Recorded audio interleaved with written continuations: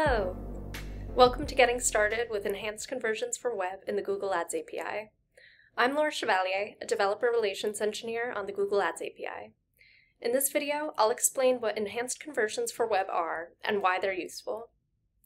I'll also introduce the prerequisites required to build your fully functional Enhanced Conversions for Web integration. If you find this video helpful, give it a thumbs up and subscribe to our channel to be notified about new videos.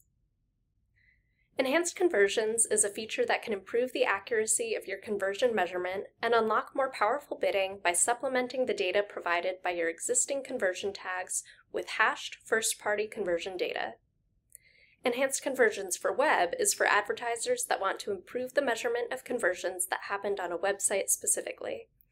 It allows you to recover conversion types that aren't necessarily observable in certain browsers today. For instance, conversions based on video views or cross-device activity.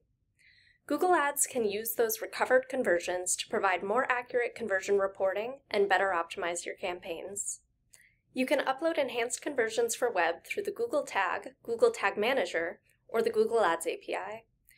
If you're already using the Google Tag or Google Tag Manager for conversion tracking, you can set up enhanced conversions for web with only slight changes to your configuration.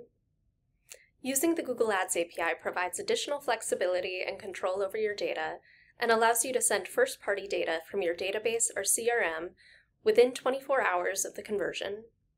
Let's see how this happens in practice. Let's say I operate an online store and I run Google Ads to drive purchases. I've set up a tag on my website that sends a conversion to Google Ads whenever someone converts, in this case by making a purchase.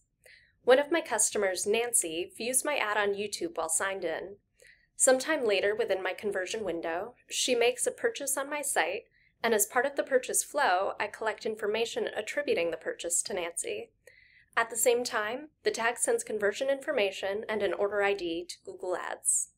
A separate process in my system then looks up information about Nancy in my company's first-party data sources, normalizes and hashes the data, and securely sends it to Google using the Google Ads API. With that additional information, Google Ads can map Nancy's engaged view on YouTube to the conversion on my site and reports the conversion for my campaign. In summary, the additional enhanced conversion data allowed Google to recover a video view conversion which might not have been observable otherwise, leading to improved conversion reporting that in turn improves bidding and campaign optimization. Now that we understand the overall flow, let's talk about the prerequisites to making it happen. First, Enhanced Conversions for Web requires making sure a conversion action of type web page exists within your Google Ads conversion customer. You might be wondering, what's my Google Ads conversion customer? This is the Google Ads account responsible for creating and managing conversions for the customer, it might be a Google Ads client account, or if you're using cross-account conversion tracking, a Google Ads Manager account. You can verify which account is your Google Ads conversion customer by querying for the Google Ads conversion customer. Now that we know our Google Ads conversion customer ID, we can query that account to verify whether there is already a conversion action of type web page, and if so, whether it's enabled. If your Google Ads conversion customer doesn't yet have a web page conversion action, Follow the instructions linked in the video description to create one. Second, you must accept the customer data terms for your Google Ads conversion customer. The Accepted Customer Data Terms field tells you whether this prerequisite is already met. If not, follow the instructions linked in the video description to accept the terms. Lastly, you must set up a conversion tracking tag on your website.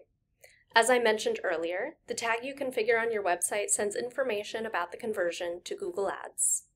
The tag must be for the web page conversion action you created previously and must be set up to include the order ID, also known as the transaction ID.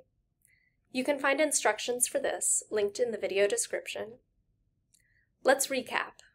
Enhanced Conversions for Web in the Google Ads API lets you improve your conversion reporting by sending additional first-party user information to Google Ads. In order for this to work, you must create a conversion action of type web page in your Google Ads conversion customer, accept the customer data terms in your Google Ads conversion customer, and configure tagging on your website for the web page conversion action you created, and ensure it's set up to include an order ID. That's everything for now. In later videos, we'll explore the implementation of enhanced conversions for web in more detail. If you found this video helpful, be sure to let us know with a thumbs up. Thanks for watching, and see you later.